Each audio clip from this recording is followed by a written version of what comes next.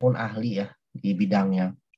Nah ini eh, apa tujuannya sebagai inspirasi dan motivasi sebenarnya ya bagi kita semua mahasiswa dan kita semua yang hadir ya.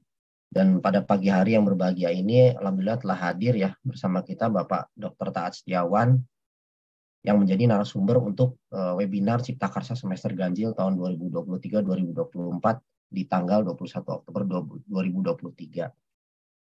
Sebelum kita mulai, saya izin memperkenalkan profil Pak Dr. Taat Setiawan kepada para hadirin sekalian ya. Jadi eh, nama lengkap narasumber kita adalah Bapak Dr. Taat Setiawan, STMT.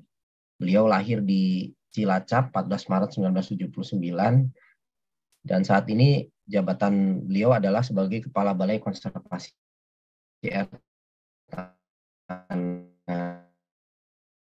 ya dengan unit organisasi geologi Kementerian SDM. Ya, riwayat pendidikan beliau eh, S1 beliau dari Teknik Geologi UGM, S2 dari Teknik Air Tanah ITB dan S3 dari Teknik Geologi Unpad ya. Jadi Pak Taat ini sudah mengenyam pendidikan di berbagai institusi ya Pak Taatnya. Luar biasa Pak Taat. Oke. Uh, untuk mempersingkat waktu, marilah kita bersama-sama ya mendengarkan paparan materi dari Bapak Dr. Taat Setiawan dengan judul Permasalahan Air Tanah dan Amblesan Tanah di Jakarta serta upaya perbaikannya. Ya, dan nanti jika eh, apa ada yang ingin bertanya ya, terutama adik-adik mahasiswa, silakan menuliskan pertanyaan di kolom chat ya dengan menuliskan nama, NIM, program studi dan pertanyaan. Jadi nanti yang bertanya akan mendapatkan poin keaktifannya. Baik, untuk mempersingkat waktu, maka waktu dan tempat uh, kami persilakan. Monggo silakan Pak Taat Setiawan bisa dimulai. Uh, baik, terima kasih Pak Imam. Uh, terima kasih yang saya hormati Pak Imam Priyono, dosen Teknik Geologi Universitas Pertamina, Bapak Ibu dosen di lingkungan Universitas Pertamina, serta adik-adik mahasiswa yang saya banggakan. Uh, Alhamdulillah saya uh, berterima kasih kepada pihak Universitas Pertamina karena uh, saya dipercaya untuk mengisi salah satu materi kuliah uh, Cipta Karsa pada pagi ini. Uh, Bapak Ibu sekalian, ada di mahasiswa, uh, kali ini saya akan uh, membahas terkait dengan tema permasalahan air tanah dan ambesan tanah di Jakarta serta upaya perbaikannya. Hal ini selaras dengan tugas pokok fungsi kami Balai Konservasi Air Tanah di bawah Kementerian SDM terkait dengan uh, pengelolaan air tanah uh, juga termasuk uh, baik pemantauan kuantitas kualitas air tanah uh, dan juga terkait dengan uh, regulasi di bidang air tanah. Nah, ini untuk yang terakhir ini regulasi bidang air tanah kebetulan tugas baru bagi kami Kementerian SDM yaitu sejak setahun yang lalu gitu ya baru satu tahun ini dengan berlakunya Undang-Undang Sumber Daya Air yang baru gitu. Uh, adik-adik mahasiswa yang saya cintai terkait dengan permasalahan air tanah di Jakarta, kita ketahui ya, saya kira ini sudah isu umum, masyarakat umum sudah tahu, baik di berita media massa, media visual maupun sekarang di media sosial ya, uh, sering kita dengar terkait dengan permasalahan uh, lingkungan air tanah dan ambesan tanah di Jakarta. Disebutkan bahwa Jakarta katanya ada berita intrusi air laut atau penyusupan air laut hingga sampai Monas. Kemudian uh, Jakarta katanya akan tenggelam. Kemudian uh, ambesan tanah itu uh, terkait dengan adanya suatu apa uh, Jakarta ya sebagai trigger dari uh, uh, amblesan tanah tersebut adalah pengambilan air tanah yang berlebihan.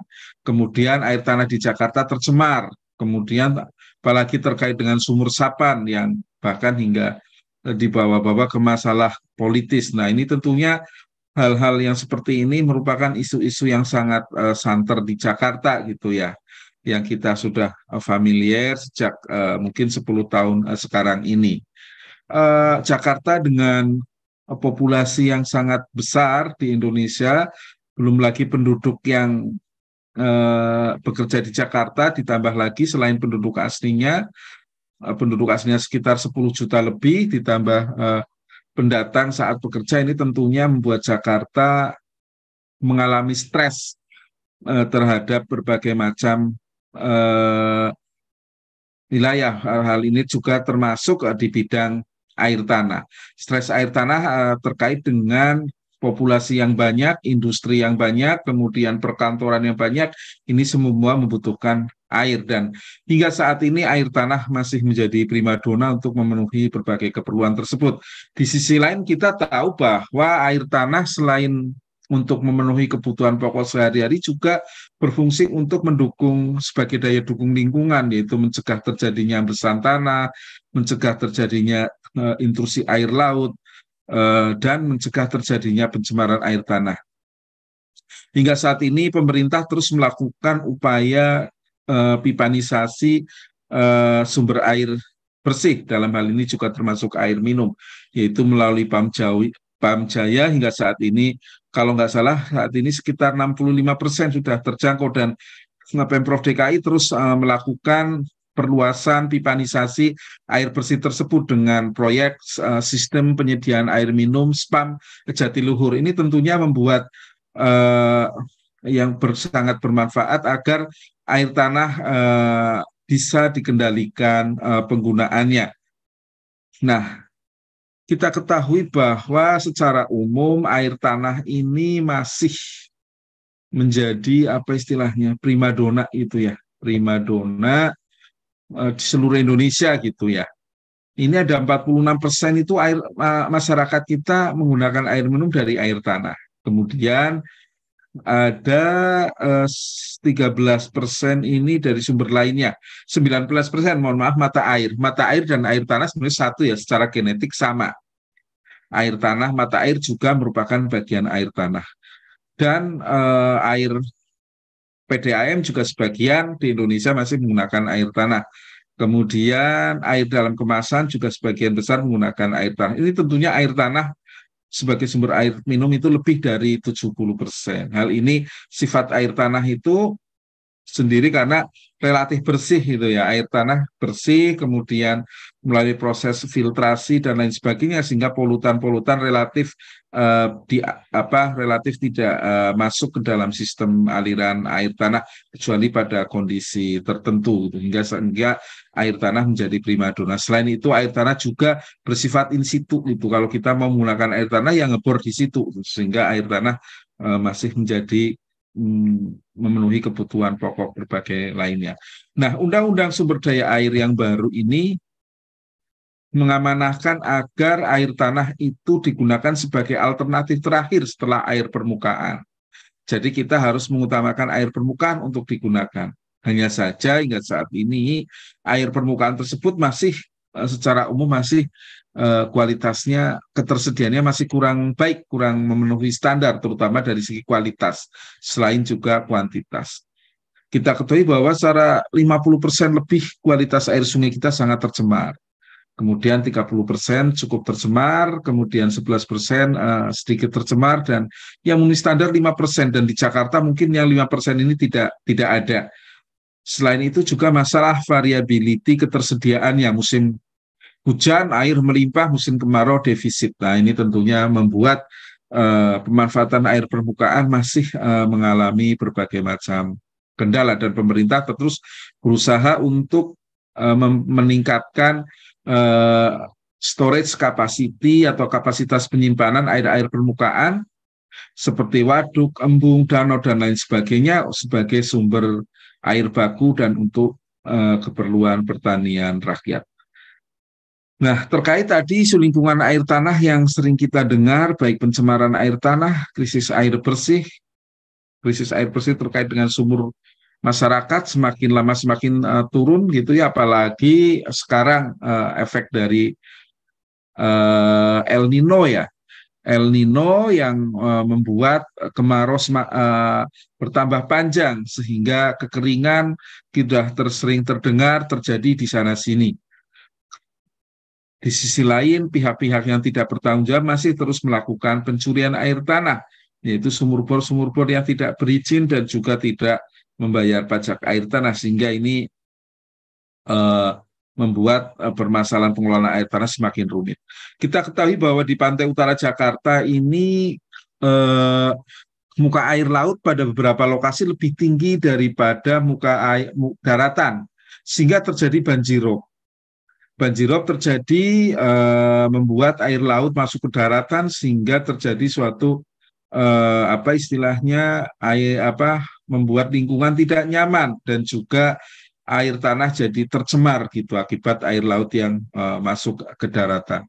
Tentunya fenomena ini terjadi uh, sangat kompleks. Yang pertama adalah secara relatif uh, pemanasan global membuat uh, climate change membuat uh, air laut naik secara relatif dan juga amblesan tanah juga uh, membuat muka daratan turun sehingga mekanisme keduanya tentunya akan memperparah terjadinya banjirop tersebut secara relatif muka tanah turun dan secara relatif muka air laut naik. Nah, ini tentunya membuat permasalahan semakin kompleks. Namun apakah sekarang masih demikian nanti kita akan uh, bahas lebih detail lagi. Kita ketahui bahwa Jakarta secara geologi ini pada bagian utara ini berupa endapan uh, aluvial uh, yang terkait dengan proses pengendapan oleh proses uh, air sungai atau air tanah.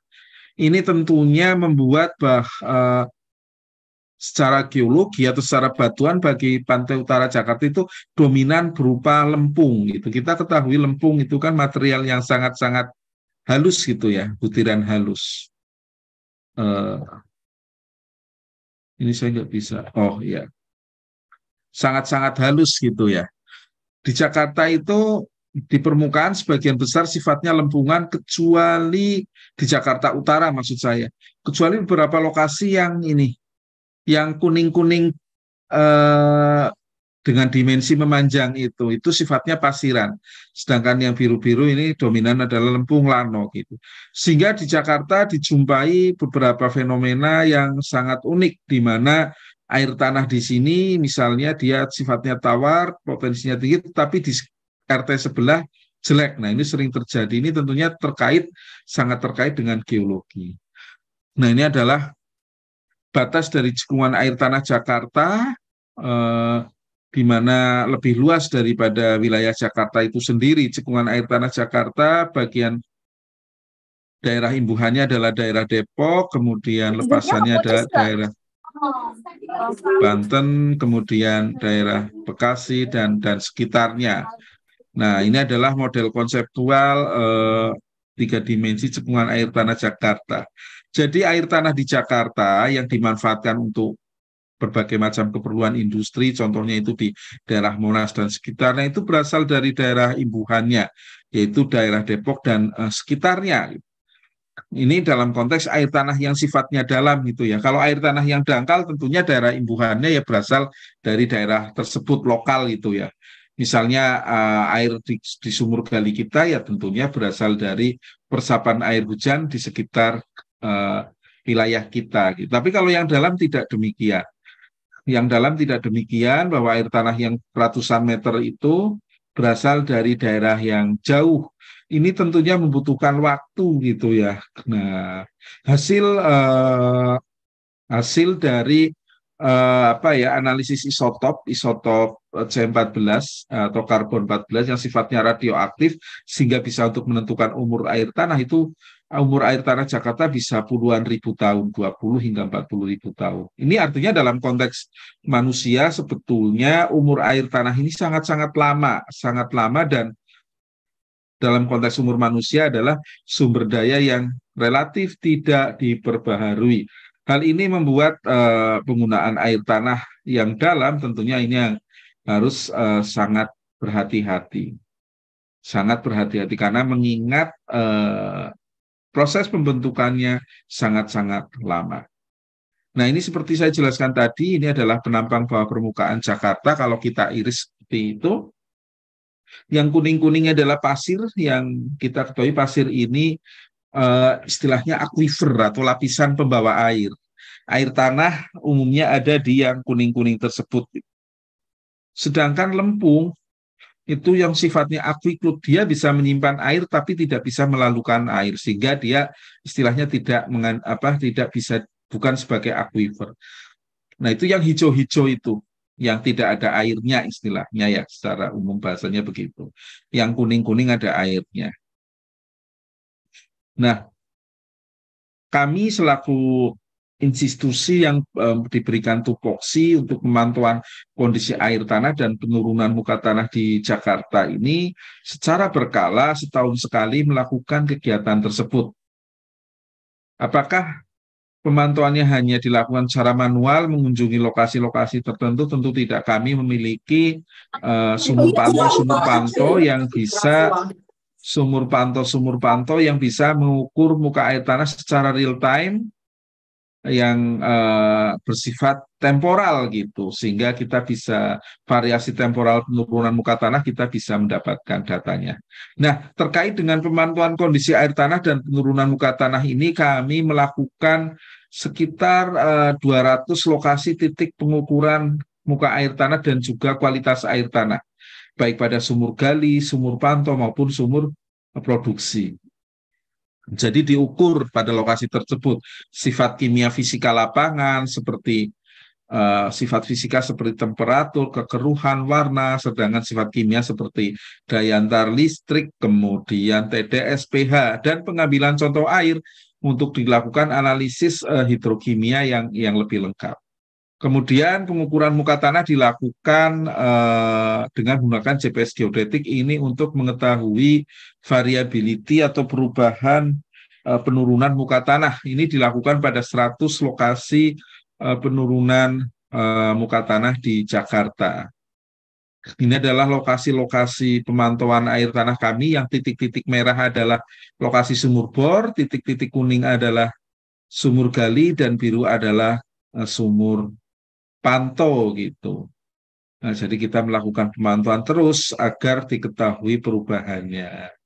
Ini adalah muka air tanah Jakarta ya, sebelah kiri muka air tanah tertekan. Nah, yang melingkar-lingkar itu menunjukkan adanya suatu fenomena kondepresi. Kondepresi adalah penurunan muka air tanah.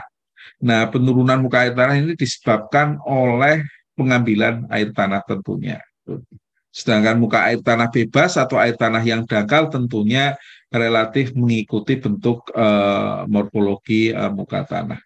Nah, dari pemantauan tersebut, uh, muka air tanah dangkal atau yang di sumur-sumur gali, sumur pantek ini, muka air tanahnya bervariasi. Paling dangkal adalah 0,3 meter dan paling dalam adalah 14 meter. Jadi kalau adik-adik semua punya sumur eh, itu umumnya antara 0,3 hingga 14 meter kedalamannya, sumur dangkalnya loh ya.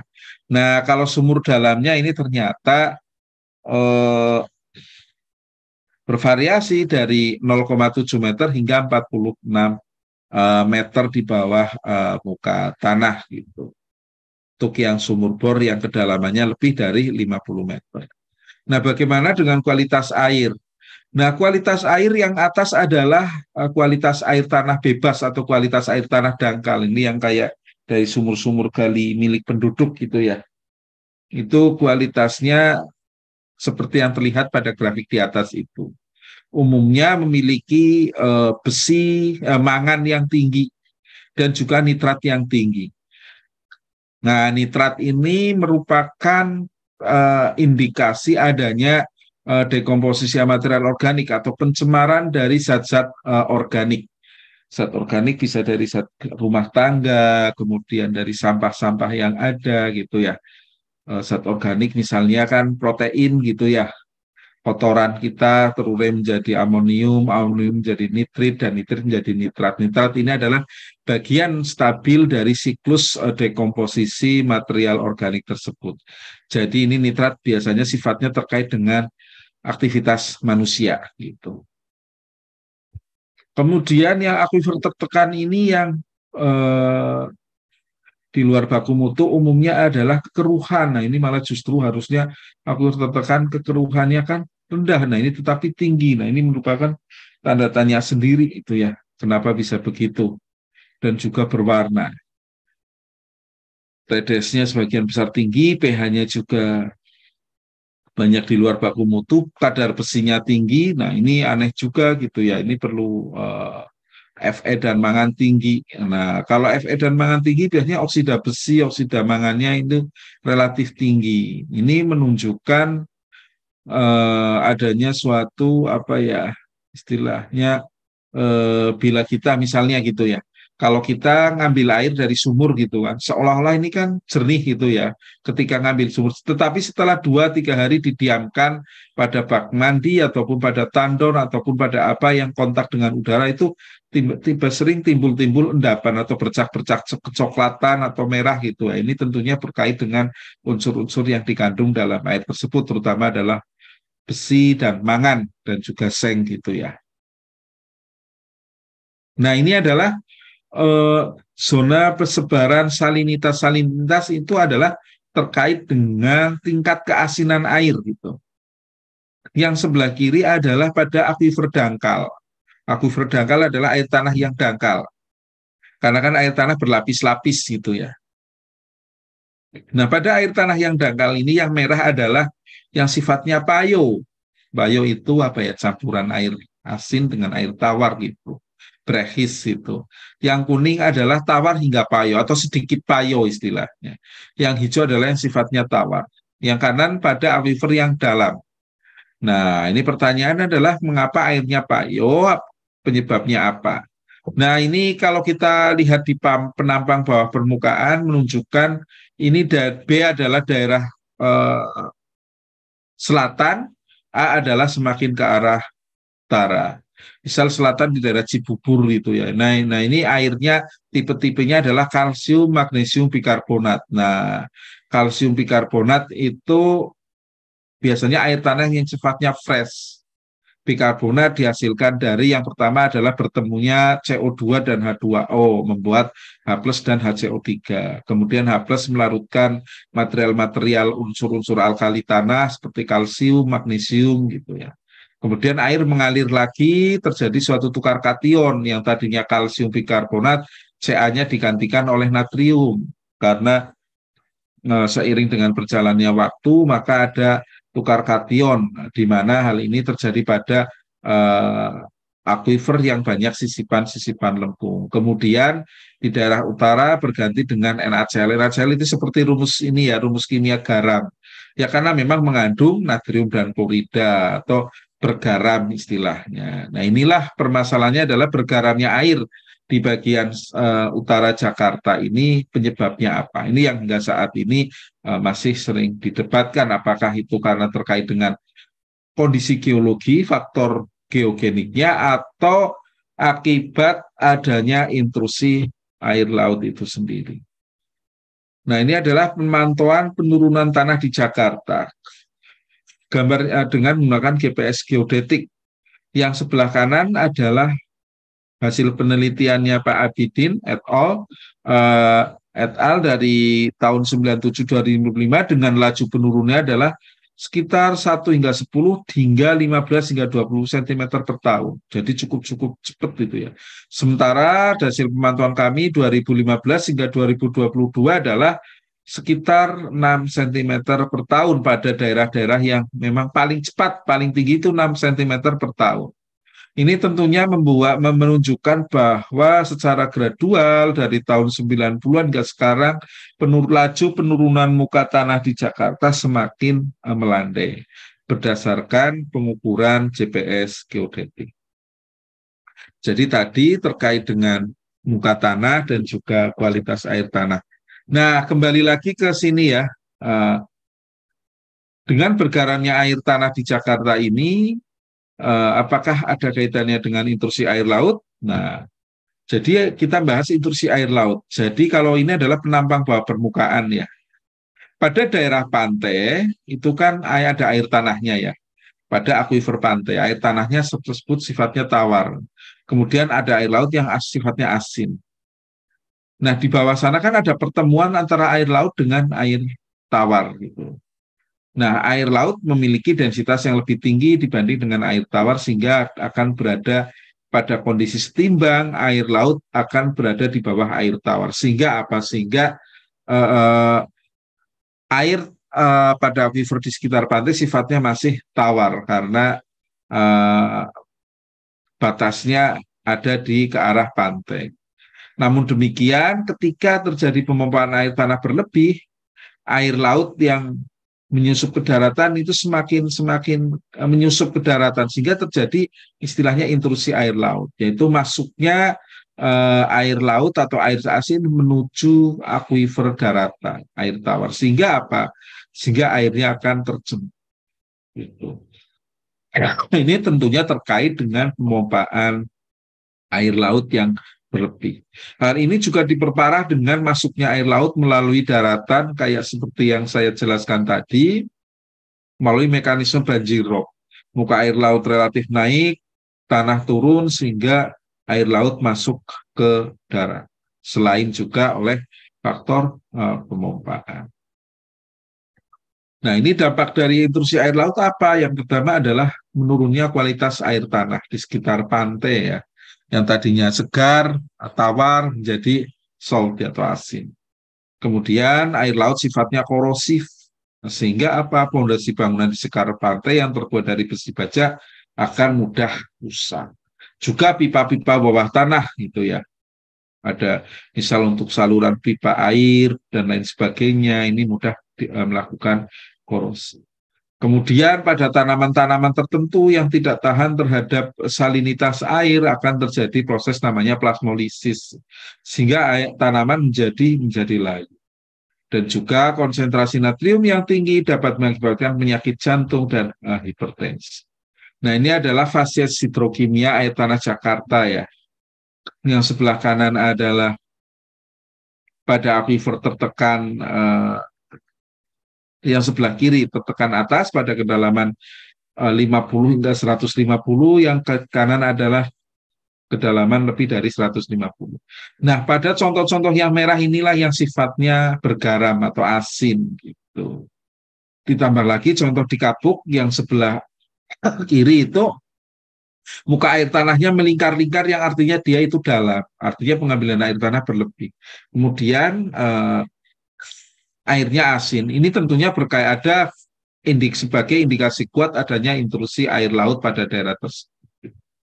Ditambah lagi analisis uh, dari uh, tingkat keasinan air semakin mendekat ke pantai pada tertekan uh, tentunya semakin semakin tinggi, terutama pada jarak yang kurang dari 3 km gitu ya. Itu airnya air tanah tertekannya uh, asin. Namun air tanah dangkalnya uh, tidak demikian gitu. Maksudnya uh, tidak dianalisis kalau yang uh, ini. Nah ini adalah dari analisis isotop. Isotop itu adalah ini ya nomor atom yang memiliki uh, nomor uh, atom yang memiliki nomor atomnya sama tetapi uh, nomor masanya berbeda. Contoh, oksigen itu kan nomor masanya 16, tetapi dia punya oksigen yang nomor masanya 18 atau isotopnya. Jumlahnya memang relatif sedikit. Hidrogen dia muatan nomor masanya satu, tetapi ada yang bermuatan dua, nomor masanya dua, ada yang juga tiga. Gitu. Nah ini isotopnya. Sehingga isotop karena jumlahnya sedikit bisa dilakukan untuk tracer atau untuk mengetahui uh, ini ya apa genetik dari air. Nah, itu yang garis merah adalah garis di mana air hujan berada, sedangkan garis biru adalah garis di mana air laut berada. Ternyata contoh-contoh pada bagian utara di Jakarta ini dia relatif mengikuti percampuran dengan air laut. Jadi kalau pada garis biru itulah yang air-air yang bercampur dengan air laut. Semakin uh, birunya titik uh, contohnya semakin ke arah kotak biru itu artinya pencampuran dengan air laut semakin tinggi. Nah, dengan analisis tersebut menunjukkan bahwa di daerah Kabuk misalnya itu menunjukkan adanya suatu apa ya pencampuran uh, hingga 20% dengan air laut. Dan juga hasil penelitiannya Pak Wandowo dari Batan menunjukkan bahwa di Jakarta bagian utara ternyata semakin asin oh, oh, contoh airnya ternyata umurnya semakin muda. Ini berdasarkan C14. C14 adalah isotopnya C12 tetapi yang sifatnya radioaktif. Sehingga ini berguna untuk mengetahui umur dari uh, air. Jadi contoh air di bagian utara menunjukkan uh, harusnya kan semakin asin kalau kondisi normal itu umurnya semakin tua, semakin dalam, tapi ternyata di sini tidak. Nah, ini menunjukkan adanya fenomena karena air tanahnya adalah bercampur dengan uh, air laut.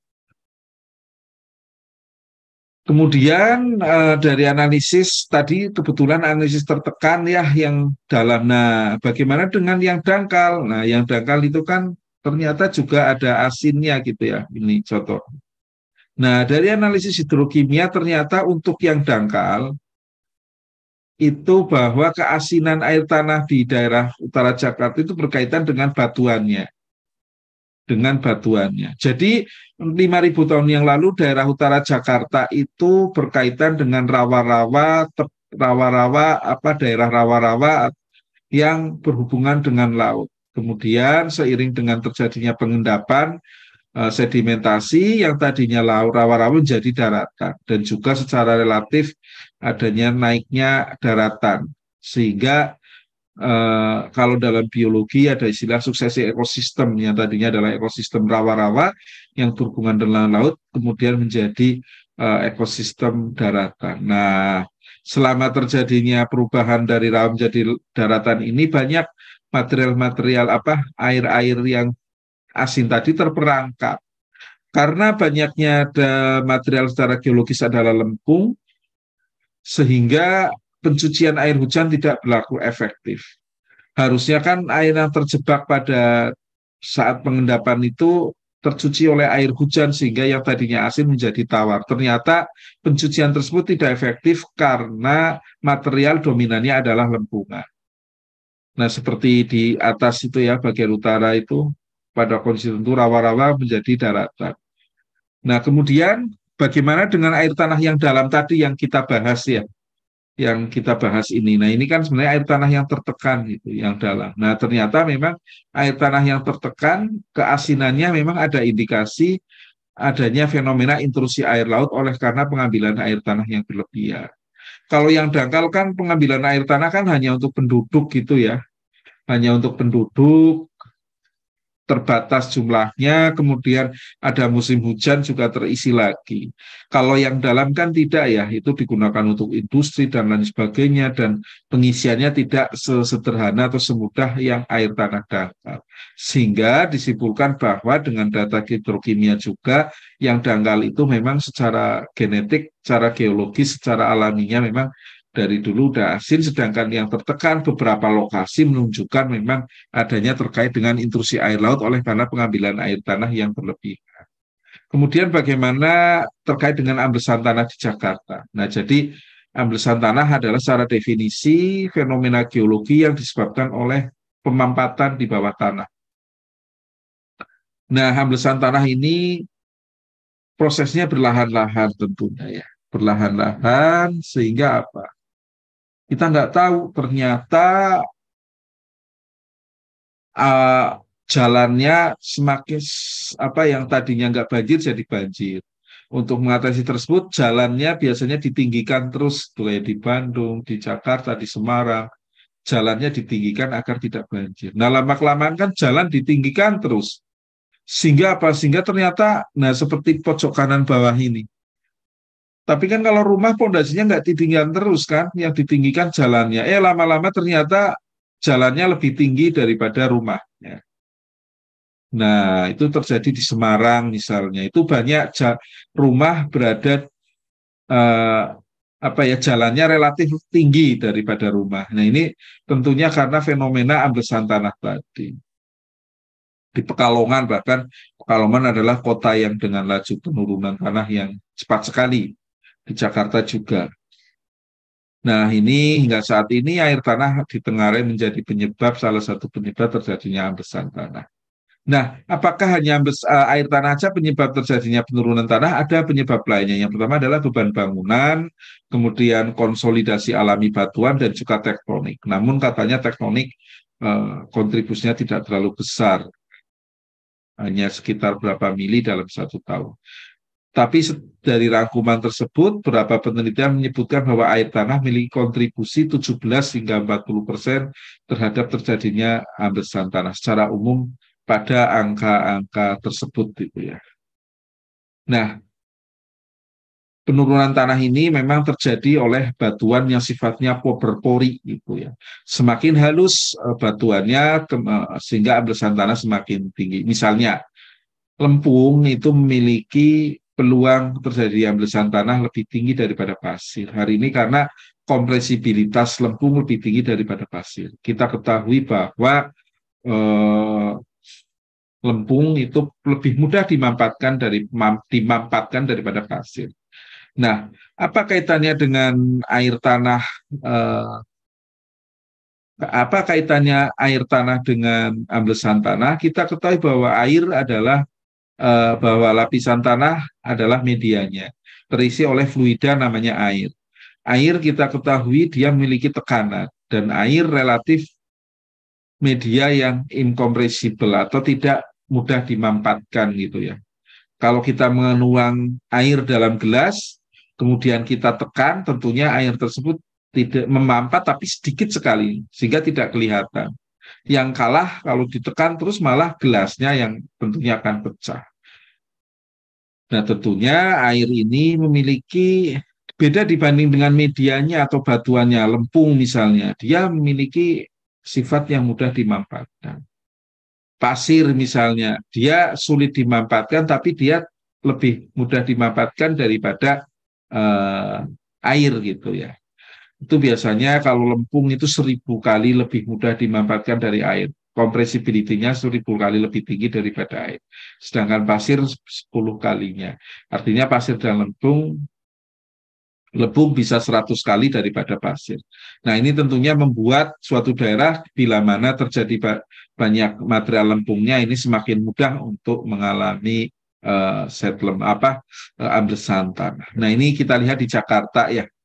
Jakarta, ini kemudian cross section di Jakarta yang sebelah kanan, yang hijau-hijau adalah lempung, yang kuning-kuning adalah air, eh, pasir yang berisi air.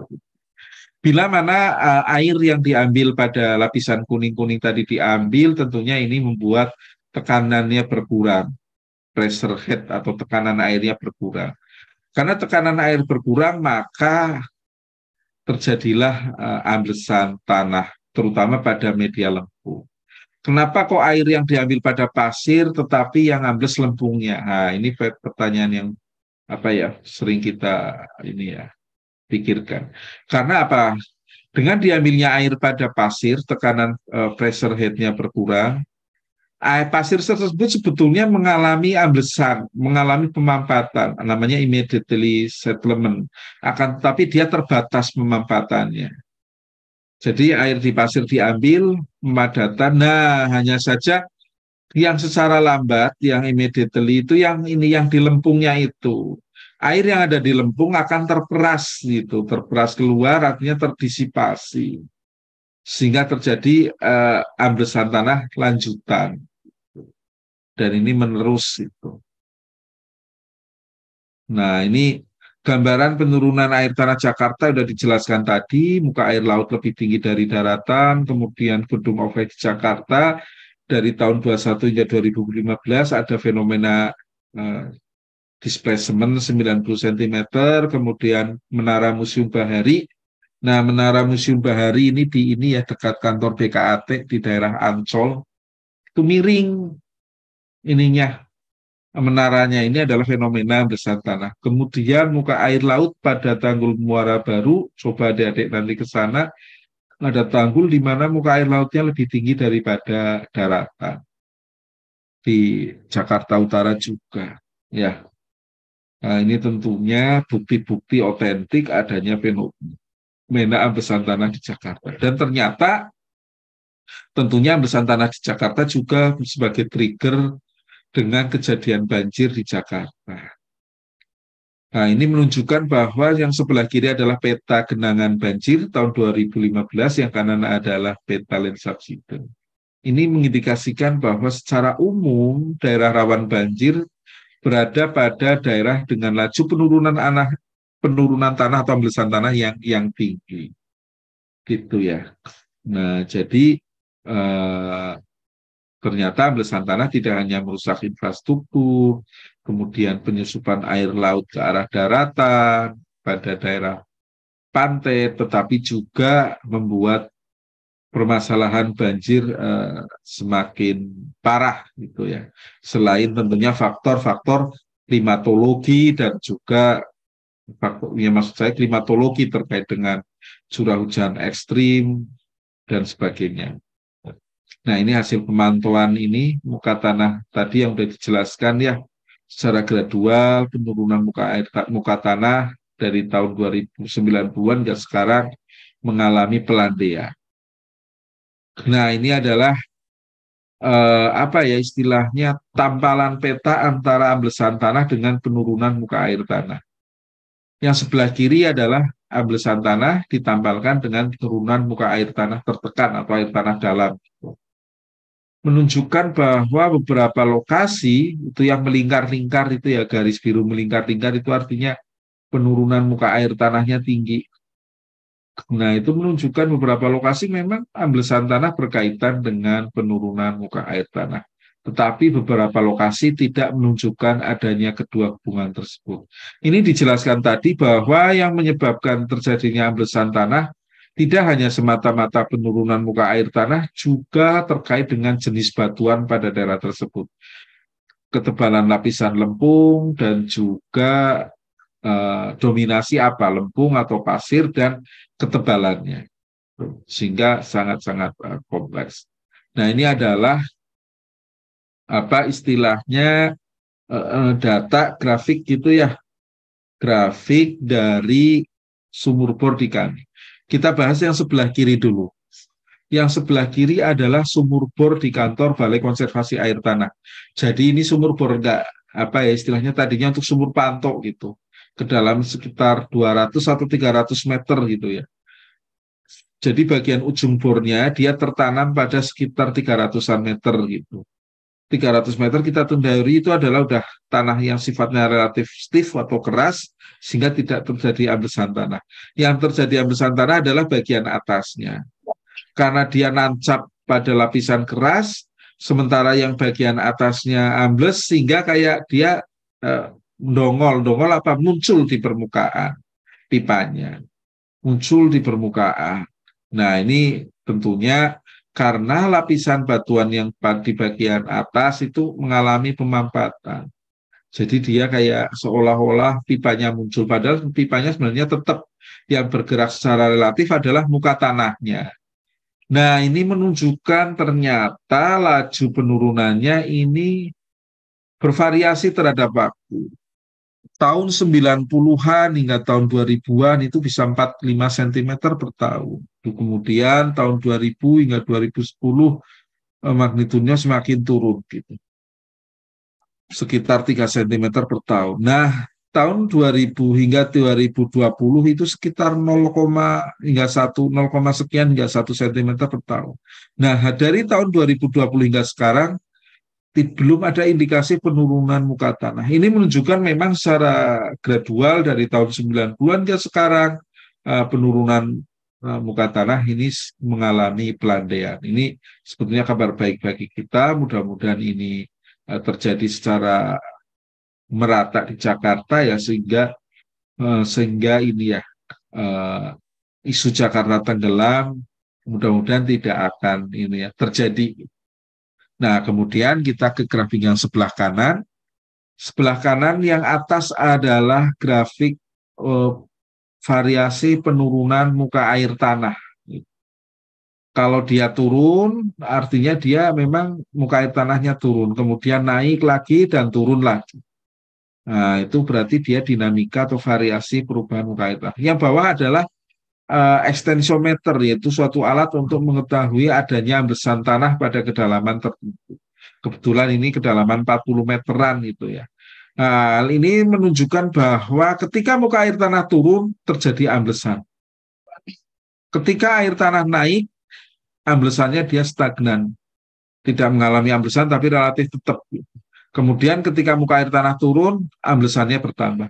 Ini menunjukkan bahwa sebetulnya fenomena amblesan tanah ini berkaitan dengan penurunan muka air tanah.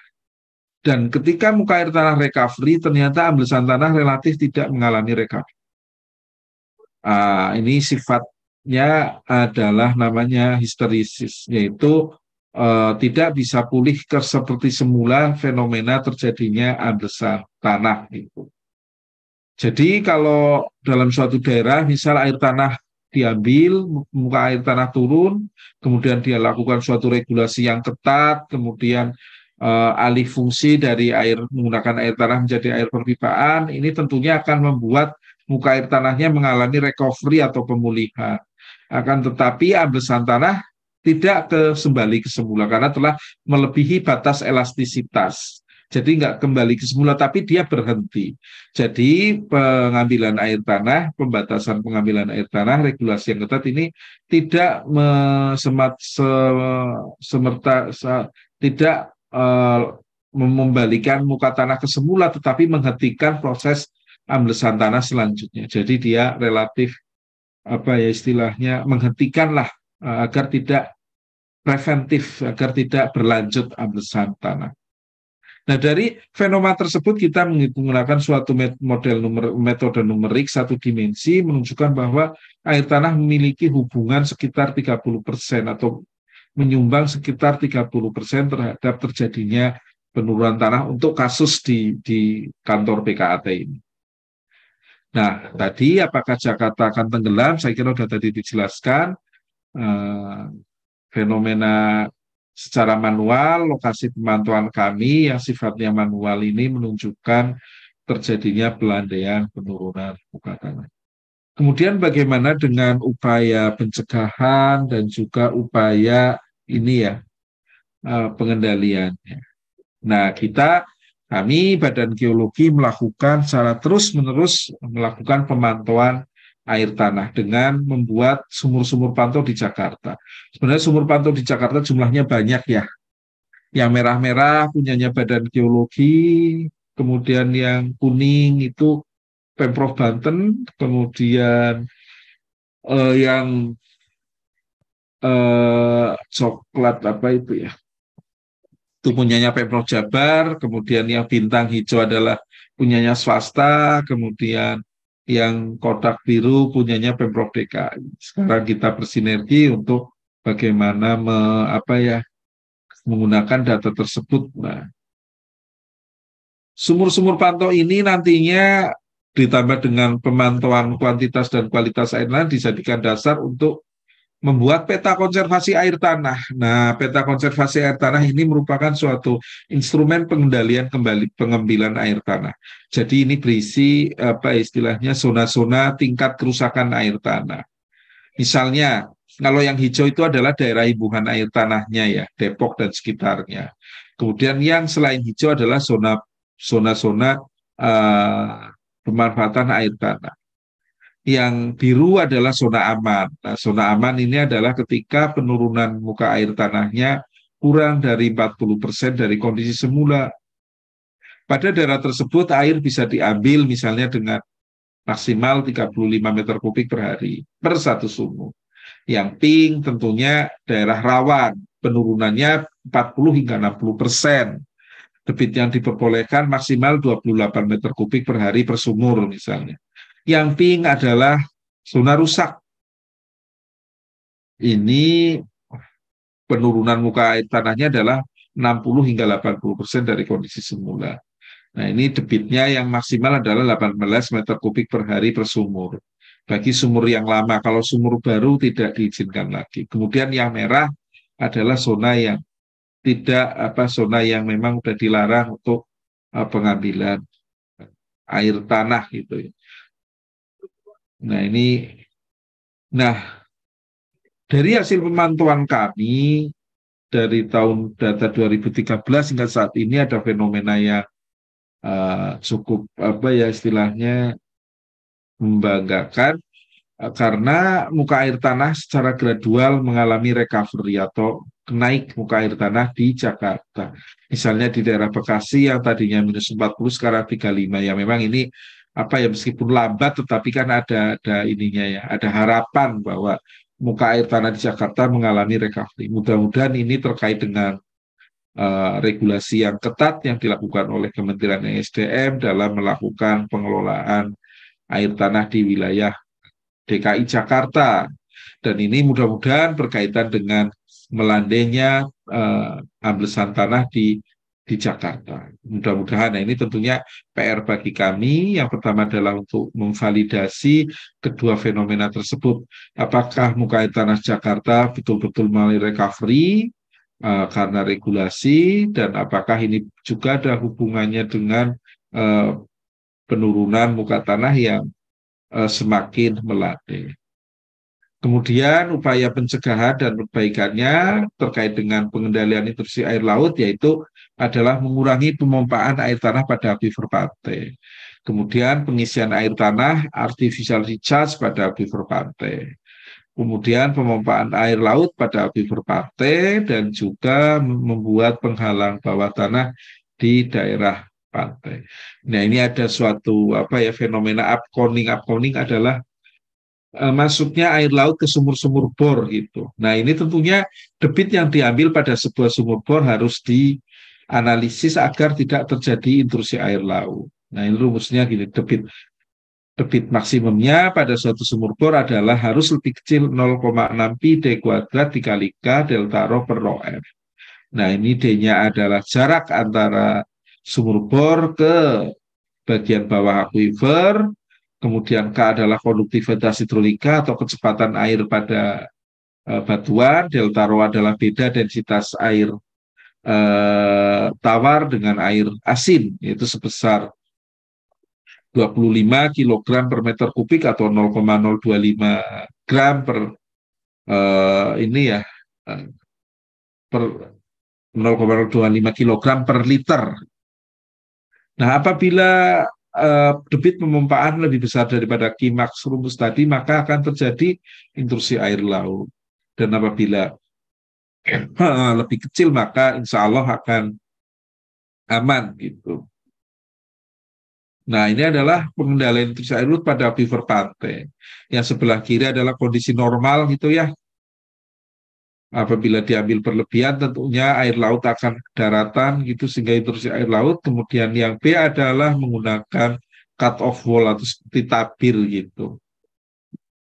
Yang D subsurface dam atau bendungan bawah permukaan dan C semi surface subsurface barrier. Nah ini semuanya adalah bangunan-bangunan penghalang pada daerah pantai. Ini tentunya mahal biayanya ini selain berfungsi untuk mencegah terjadinya intrusi air laut, juga berfungsi untuk menaikkan muka air tanah di daerah pantai.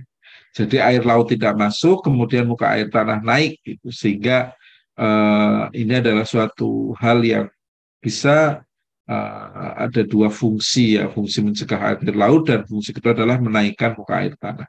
Kemudian yang ketiga adalah recharge well. Recharge well yaitu dengan pengimbuhan buatan gitu. Tentunya ini efektivitas dan tidaknya kita harus melihat kondisi geologinya. Gitu. Nah, di well di daerah pantai bisa digunakan untuk mencegah intrusi air laut karena akan uh, mendorong batas kesetimbangan antara air laut dan air tawar bergerak ke arah lautan atau bergerak ke arah bergeser ke arah kanan sehingga mencegah terjadinya fenomena intrusi air laut.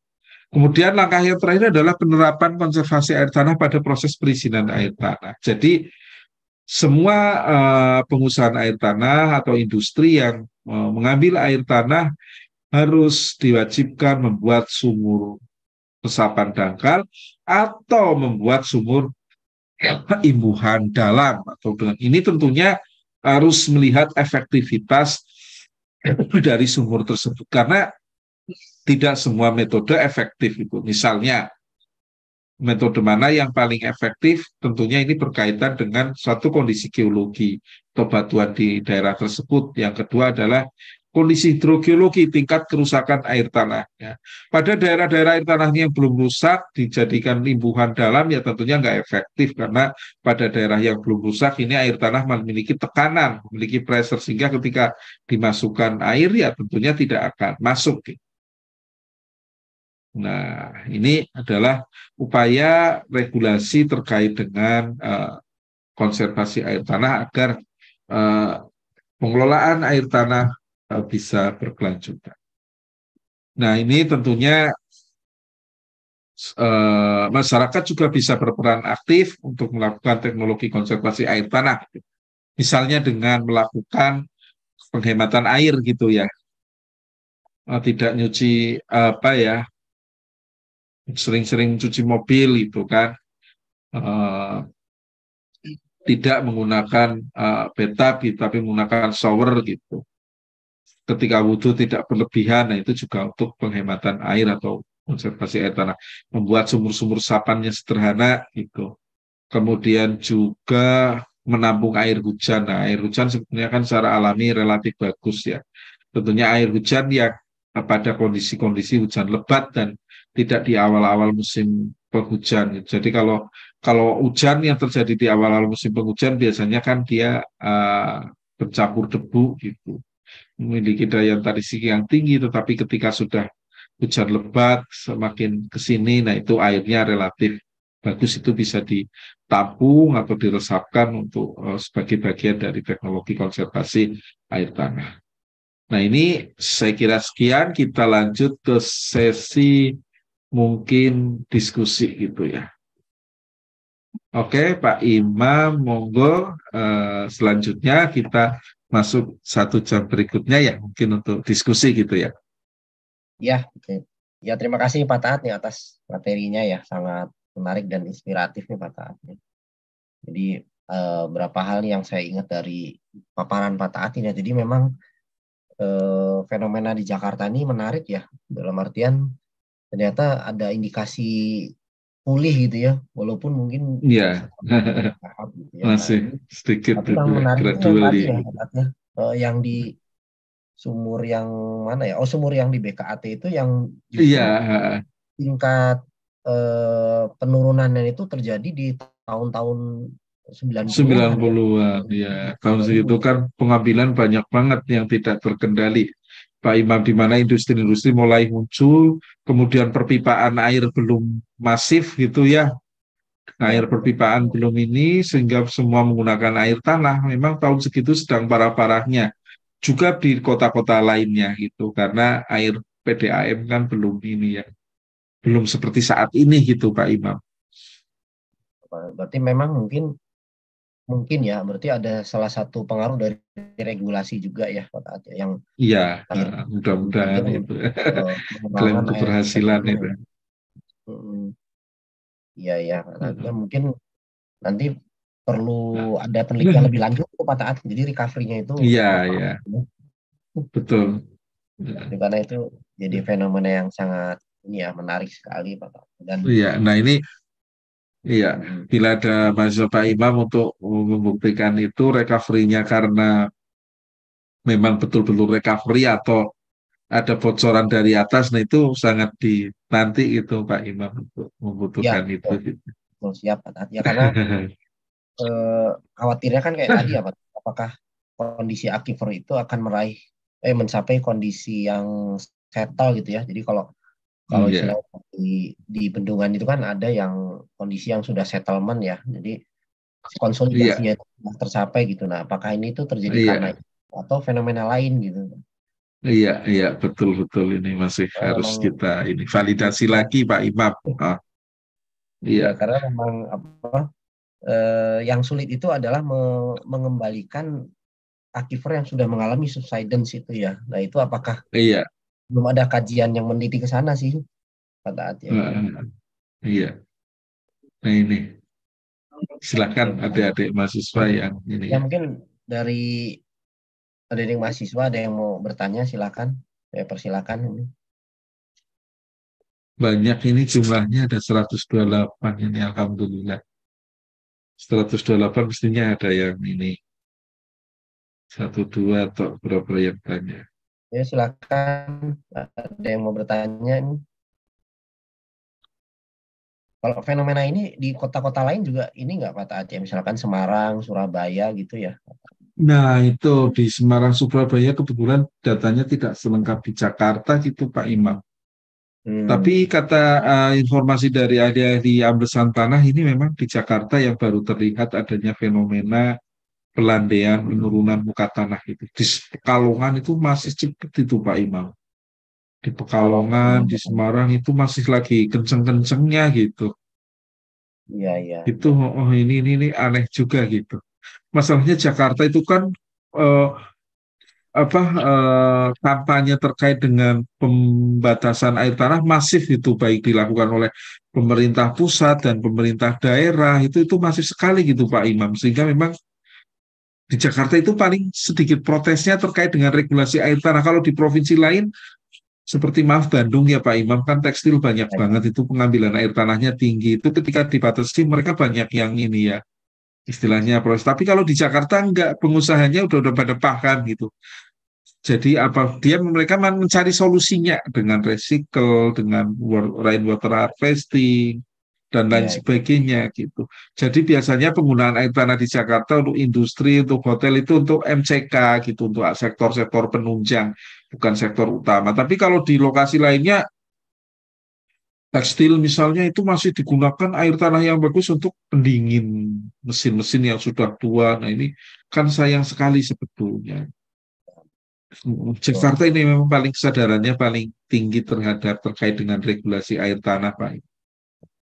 Iya. Karena itu eh, dirasakan juga bagi kami selaku regulator bahwa protes-protes dari Jakarta hampir dikatakan tidak ada. Gitu dibanding ya. dengan lokasi lainnya gitu. Ya ya justru malah bagus ya maksudnya pemahaman dari ini ya iya. kepentingan Jakarta baik iya iya kampanye hmm. betul kampanye pemberitaan media massa itu masif itu sehingga ya, relatif tidak mudah-mudahan tidak tenggelam seperti apa yang diprediksi banyak pihak itu ya uh, tanahnya ambles, muka air laut global naik gitu kan, itu tentunya sangat mengkhawatirkan. Ya Pak, itu karena mereka menghitung ini sih Pak, rate-nya itu dari iya. dari apa rata-rata tahunan. Jadi kalau menghitung sekian iya, iya. per tahun, dia hitung nilainya sama. Otomatis linear ya. gitu ya. Padahal kalau dari yang gambar tadi nggak gitu kan Pak Taatnya. Iya ternyata bervariasi. Juga, Pak. Kenapa line subsidence itu malah iya semakin sekarang itu semakin berkurang gitu. Iya betul. Karena pemahaman yang mungkin berapa yang belum paham malah malah berpikir terbalik ya. Plan subsidence iya. semakin, sekarang semakin menjadi-jadi diperkirakan begitu. Iya betul. Kalau ini mahasiswanya bukan hanya geologi saja ya Pak Imam ya? Iya, biasa geologi. Oh, Jadi ya. Oh iya iya iya. Ya kan gitu Pak. Oke. Okay. Ya Pak, jadi ini sifatnya kan umum gitu Pak. Hmm. Oke, ada yang mau bertanya ini? Silakan. Oh, nah, iya, itu ada yang tanya Pak Imam. Ya, saya izin bacakan Ekonomi. Ya, ya silakan Pak Imam. Ya, eh, selamat pagi. Saya Sandi Pamungkas dari Prodi Ekonomi NIM 1032222029. Saya ingin bertanya terkait permasalahan air tanah di Jakarta. Apakah menurut Bapak kontribusi pemerintah sudah cukup untuk mengatasi permasalahan yang ada? dan kontribusi apa yang dapat kami berikan sebagai masyarakat untuk bisa mengambil langkah menurunkan hmm. tingkat tanah di wilayah Jakarta. Terima kasih. Monggo Wah, luar biasa ini orang orang ekonomi ya. Memang kalau orang ekonomi kan sebetulnya uh, ilmunya optimasi, optimasi air tanah juga perlu dioptimasi. Air tanah memang oh. secara alami uh, berfungsi untuk uh, men, uh, untuk kebutuhan pokok sehari-hari, untuk fungsi ekonomi juga, misalnya untuk industri, untuk perhotelan, tapi air tanah juga berfungsi untuk mendukung daya dukung lingkungan seperti mencegah terjadinya hembusan tanah, intrusi air laut dan sebagainya. Sehingga optimasi sangat diperlukan bagaimana agar air tanah masih bisa mendukung fungsi lingkungan, tapi juga bisa di, untuk dimanfaatkan. Nah, tentunya ini ada hitung-hitungan yang tidak uh, sederhana. Nah, upaya pemerintah yang pertama adalah secara umum memang ini ya dengan regulasi. Regulasi tentunya eh, terkait dengan pengaturan itu ya Undang-Undang Sumber Daya Air yang baru mengamanahkan agar air tanah sebagai alternatif terakhir.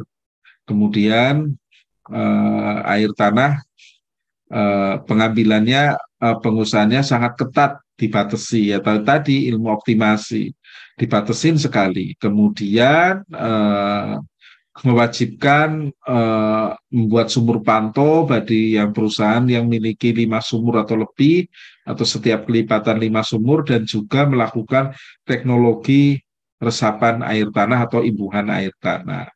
selain itu juga pemerintah uh, memperluas secara masif uh, sistem penyediaan air minum spam gitu melalui air-air melalui air uh, melalui teknologi petipaan gitu ya yang di Jakarta itu udah secara masif Pamjaya melakukan suatu terobosan membuat uh, istilahnya proyek spam Jatiluhur gitu jadi dari waduk Jatiluhur digunakan uh, untuk memenuhi masyarakat. Nah, tentunya secara individu masyarakat juga bisa berperan penting terhadap teknologi konservasi air tanah. Yang pertama adalah membuat apa ya hemat air gitu ya, hemat air. Misal mandinya kalau yang cewek misalnya ya jangan terlalu lama gitu ya, jangan menggunakan bathtub tapi menggunakan shower gitu. Kemudian ya kalau cowok yang punya motor ya jangan sehari tiga kali dicucinya motornya cukup seminggu sekali misalnya. Yang punya mobil juga jangan meskipun mobilnya bagus ya terus jangan sering sehari berapa kali nyuci mobil gitu. Nah, kemudian bagi umat Islam juga Rasulullah mengajarkan agar kita berhemat air. Kalau wudhu ya jangan dimaksimalkan, yang penting uh, memenuhi syarat uh, sahnya berwudhu gitu jangan berlebihan gitu istilahnya. Nah, kemudian juga selain itu bisa membuat sumur-sumur resapan sederhana, biopori atau sumur gali resapan, dan juga bisa melakukan uh, penampungan air hujan. Air hujan itu bisa ditampung dalam suatu tandon-tandon untuk nanti bisa di, dimanfaatkan. Gitu. Jadi kita juga berperan terhadap nah, yang adalah tidak mencemari lingkungan, tidak mengotori uh, apa tidak mengotori tidak mengotori uh, tanah dan air tanah itu misalnya membuat septic tank yang berjarak dengan sumur gitu itu juga juga penting uh, untuk dilakukan gitu. Oleh setiap uh, setiap kita gitu. Itu ya Pak Imam. Ya baik ya. Terima kasih Pak Taat. Silakan, ada lagi yang ingin bertanya?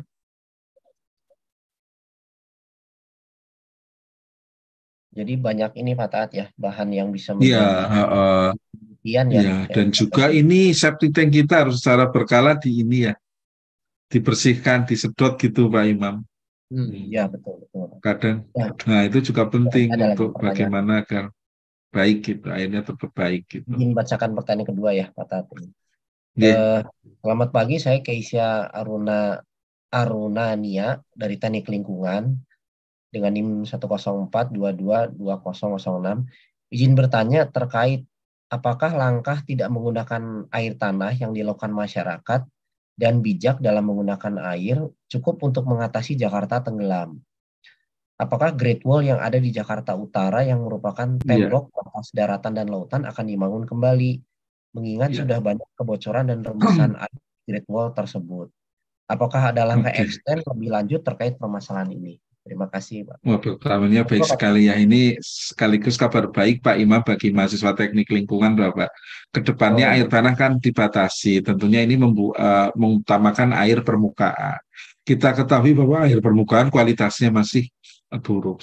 Ini uh, setiap industri hotel dan sebagainya harus berpikir bagaimana merecycle airnya gitu. Sehingga ini butuh orang-orang teknik penyehatan lingkungan. Bagaimana air yang tadinya limbah menjadi bersih kembali air permukaan kotor bagaimana ditreatment agar bersih kembali. Ini tentunya ke depannya sangat-sangat prospek bagi uh, teknik lingkungan uh, terkait dengan teknik penyehatan lingkungan.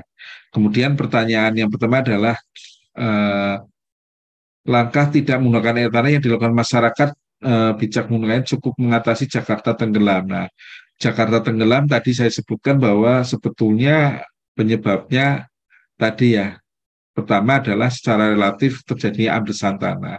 Amblesan tanah tersebut penyebabnya salah satunya adalah penggunaan air tanah. Artinya ketika kita menggunakan penghematan air tanah itu tentunya akan berkontribusi terhadap mencegah terjadinya amblesan tanah. Akan tetapi ternyata Jakarta tenggelam juga tidak berkaitan juga dengan terkait dengan pemanasan global yaitu menaiknya muka air laut. Akan tetapi jangan berputus asa bahwa eh, tentunya kita berkontribusi dengan menghemat air ini berkontribusi uh, terhadap mencegah terjadinya Jakarta tenggelam tadi. Mudah-mudahan Jakarta tenggelam berdasarkan fakta-fakta tadi hanyalah sebuah apa ya ya ya ada sisi positifnya agar kita aware terhadap uh, lingkungan kita gitu.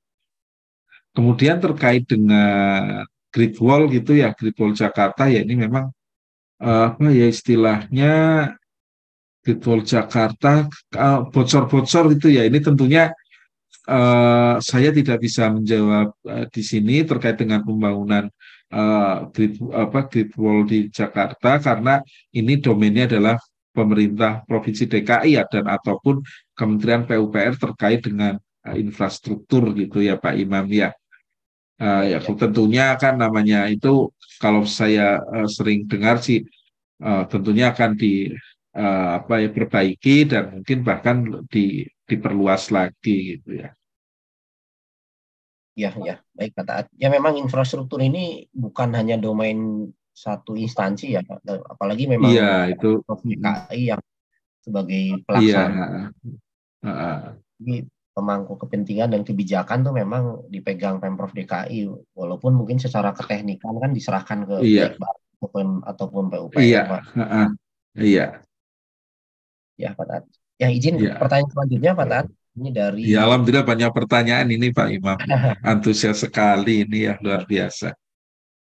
Oke, Pak Imam monggo. Alvaras Yuda ini NIM 10 11 22020. Uh, Pak, saya mau tanya, seperti yang kita ketahui bahwa Jakarta saat ini sedang mengalami suhu yang panas. Apakah akan memicu kekeringan yang mempengaruhi air tanah? Apakah akan mempengaruhi ketersediaan air bawah tanah termasuk peningkatan risiko pencemaran dan penurunan kualitas air? Monggo kata. Iya. Oke, Pak Imam ya memang kita ketahui bahwa sekarang kan uh, El Nino yang sedang berlangsung, ya. musim kemarau-nya tinggi, uh, mundur, uh, musim hujannya mundur, panas uh, panas sekali karena uh, tidak terjadi hujan. Nah, tentunya evaporasi uh, sangat uh, ini ya terjadi penguapan itu sangat besar. Nah, ini tentunya uh, air tanah air tanah yang sifatnya dangkal, air tanah air tanah pada sumur penduduk kita tentunya yang paling uh, rentan uh, terhadap ke, uh, fenomena ini karena uh, ketahanan air masyarakat uh, sangat terkait dengan musim.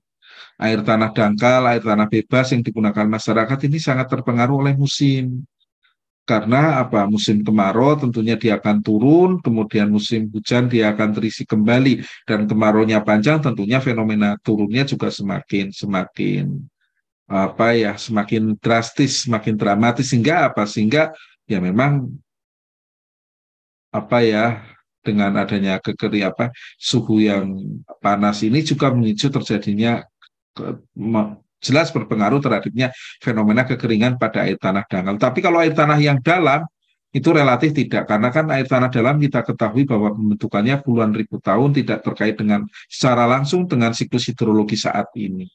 Kalau yang sumur-sumur penduduk memang terkait dengan siklus hidrologi saat ini, sehingga fenomena uh, suhu yang panas terjadinya penguapan tentunya air juga akan berkurang. Nah, secara kualitas kita tahu sendiri bahwa ketika penguapan terjadi eh, ketika penguapan terjadi otomatis kan eh, ini ya air volume air berkurang. Nah, volume air berkurang kan eh, semakin pekat ininya ya kualitas airnya gitu, semakin asin, semakin apa. Misalnya kita gini, eh, sop gitu ya, sop kalau airnya ketika banyak itu kan uh, dia tidak terlalu asin. Tetapi ketika dipanasin terus itu lama kelamaan kan akan kayak as tambah asin. Air pun demikian. Ketika volumenya berkurang, uh, tentunya konsentrasi zat pencemar akan semakin semakin tinggi itu semakin salty, semakin agak payo gitu. Ini, ini tentunya uh, berpengaruh terhadap risiko pencemaran. Makanya air hujan ini berperan penting terhadap perbaikan kualitas air air hujan kan akan mendilusi artinya mengencerkan itu ya polutan-polutan yang ada menjadi mengurangi konsentrasi uh, polutan tapi ketika itu tidak terjadi tentunya konsentrasi polutan agak lebih lebih lebih pekat lagi jadi berpengaruh gitu ya Pak Imam ya ya ya Jadi memang siklus hidrologi sangat berpengaruh sekali kan Pak. ya. Iya, betul Pak. Memang kaitannya relatif tidak berdampak ya kepada aquifer dalam. Iya. Betul. Betul, Pak. Tapi memang ketika musim begini yang paling terdampak ya di aquifer bebas itu yang Iya. paling terdampak pertama, Pak. Iya, Pak Tat. Saya lanjut pertanyaan selanjutnya, Pak Tat. Ini dari Oke.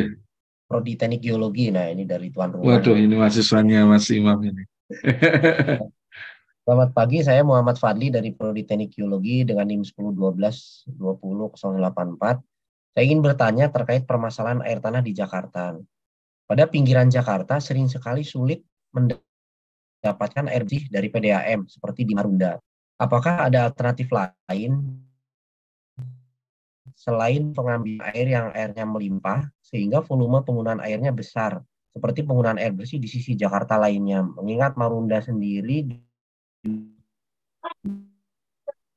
berada di pinggir laut yang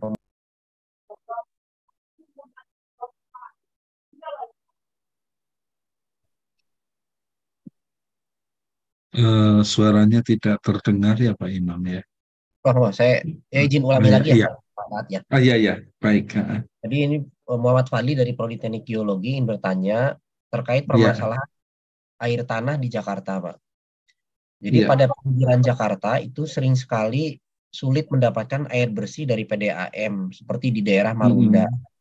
Nah, apakah ada alternatif lain selain pengambilan air yang airnya melimpah sehingga volume penggunaan airnya besar seperti penggunaan air bersih di sisi Jakarta lainnya? Mengingat Marunda itu merupakan daerah yang berada di pinggir laut yang permukaan tanahnya cepat sekali turun. Iya. Ya memang eh, daerah pesisir mengalami apa ya ketahanan air yang sangat rendah ya kerentanan air yang terendah baik segi kualitas maupun kuantitas. Secara kualitas tentunya ini daerahnya mudah tercemar, kemudian eh, sifatnya asin dan lain sebagainya. Diperparah lagi dengan adanya apa ya istilahnya eh, jaringan air perpipaan yang belum menjangkau. Meskipun juga saat ini pemerintah Pemprov DKI terus mengenjot akses layanan air bersih melalui sistem penyediaan air minum itu terus eh, memperbesar secara masif. Mudah-mudahan dalam waktu yang tidak lama juga akan ke sana. Nah, saat ini gimana cara solusi tersebutnya? Nah, saya jelaskan tadi bahwa air tanah dangkal di Jakarta juga secara kualitas berbeda-beda gitu ya. Kalau yang tadi kebetulan kalau yang ada endapan pematang pantai kayak lokasi PKAT dekat dengan laut itu ternyata airnya bagus, nah itu bisa digunakan. Nah, kalau tidak bagus airnya asin, tentunya ini air tanah bisa digunakan. Hanya saja mungkin untuk air minum mau nggak mau pakai galon, tetapi untuk MCK lainnya bisa digunakan air tanah. Nah, apakah pertanyaannya adalah apakah air tanah tersebut pengambilan bisa penduduk menggunakan air tanah akan membahayakan amblesan tanah? Tentunya penduduk itu kan menggunakan air tanahnya relatif sedikit ya. Jadi Iya. sebetulnya penggunaan air tanah oleh penduduk itu tidak tidak begitu berpengaruh terhadap amblesan tanah. Yang berpengaruh adalah pengambilan air tanah dalam yang sifatnya secara masif. Kalau industri kalau nggak batasi kan kalau saya lihat bisa puluhan ratusan meter kubik per hari. Nah ini yang membahayakan.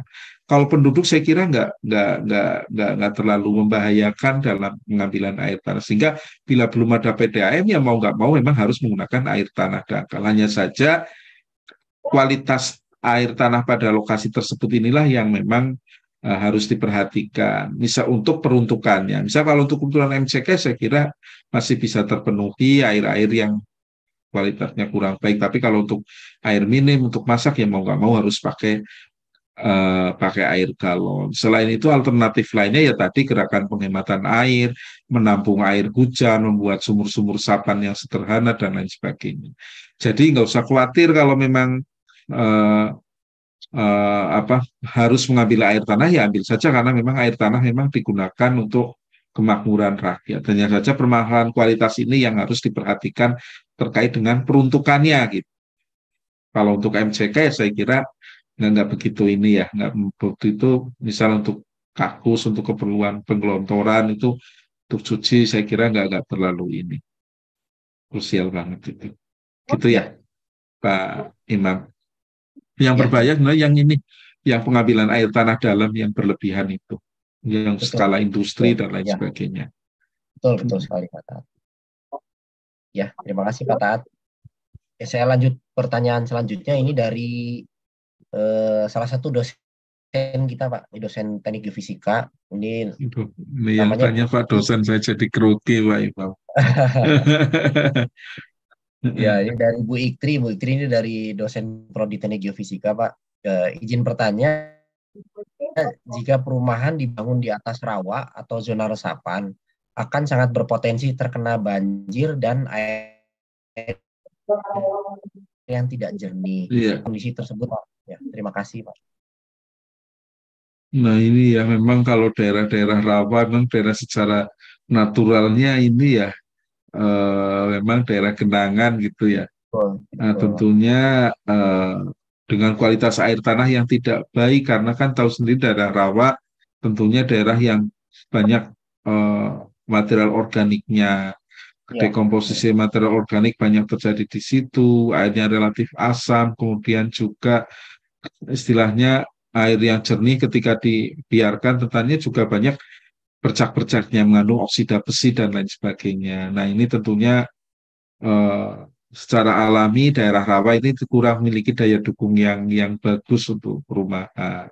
Nah tentunya terkait dengan antisipasi banjir ya mungkin bisa ini ya uh, menggunakan desain drainase gitu ya pak. Uh, misalnya begini.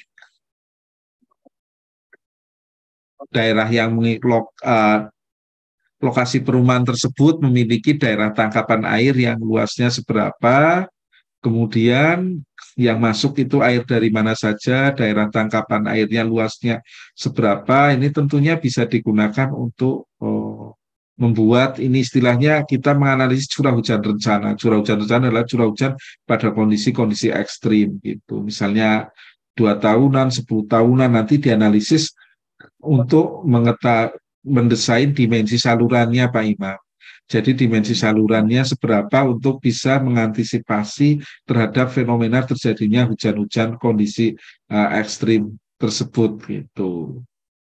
Nah, itu masih bisa diatasi dengan tersebut itu dengan menganalisis kondisi daerah tangkapan airnya sejauh mana, kemudian analisis curah hujan ekstrimnya seberapa nanti digunakan untuk mendesain desain saluran yang ada. Nah ini terkait dengan kualitas air memang di daerah-daerah rawa memang yaitu tadi ya banyak istilahnya eh, banyak presipitannya, banyak dekomposisi material organik dan lain sebagainya yang membuat parameter fisika kimia juga kurang-kurang mendukung gitu.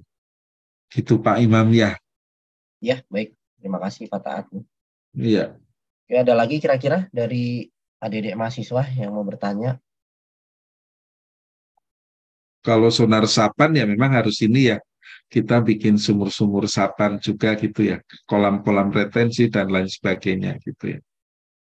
Yang penting membuat ini kan ya Pak Imam kalau sonar resapan itu membuat building apa koefisien rasio gitu ya Pak Imam ya. Nah, yang penting uh, uh, uh, yang penting resapan di situ nggak berkurang gitu meskipun ada bangunan fisik gitu kan. Dengan ya. adanya ya. bangunan fisik kan memang secara natural mengurangi peresapan, tapi kan bisa ditambah dengan membuat uh, memperluas kapasitas peresapan ya dengan sumur-sumur resapan dan lain sebagainya gitu ya, kolam retensi dan lain sebagainya gitu ya. Ya Pak, ya sudah lumayan banyak ya regulasi ya. eh, rekayasa rekayasa terkait itu. Iya betul. Sebetulnya Pak Iya. Ya, sepertinya udah nggak ada yang bertanya nih Pak Taat nih. Oke, iya. Jadi eh, tidak terasa ya sudah sejam setengah ya. Iya ya Pak Imam ya. Masalah air tanah dan amblesan tanah di Jakarta serta upaya perbaikannya ya. Jadi mudah-mudahan eh, apa webinar di hari ini bisa menjadi inspirasi ya bagi kita bersama ya. Dan sebelum saya akhiri mungkin buat adik-adik mahasiswa ya nanti akan ada kuis ya yang berkaitan dengan materi eh, seminar di hari ini dan itu diakses di e-learning mulai nanti sore ya jam 3 dan itu dikumpulkan pada paling lambat sebelum hari Sabtu ya hari Sabtu paling terakhir 28 Oktober itu jam 9 pagi ya. Uh, Oke Pak Taat sekali lagi mungkin kami ucapkan terima kasihnya. Ya Pak Imam sama-sama. Saya juga terima kasih Pak Imam. Pak Awalan ya. beserta Terima kasih sekali Pak atas ilmu yang bermanfaat dan Iya. semoga ya kita bisa berjumpa lagi ya di kesempatan yang akan Iya. datang ya. Iya, izin insya Allah Pak Imam. teknik geologi mewakili Universitas Pertamina mengucapkan terima kasih Iya. kepada Pak Taat, pada para hadirin, adik-adik mahasiswa, Bu Ikri dan dosen yang Iya. lainnya. Semoga kita selalu dalam keadaan sehat. Saya izin Amin, menutup amin. acara di hari ini. Eh, selamat pagi. Wassalamualaikum warahmatullahi wabarakatuh. Ya. Waalaikumsalam warahmatullahi. Terima kasih Pak Imam, Bapak Ibu semuanya dan adik-adik mahasiswa yang saya banggakan.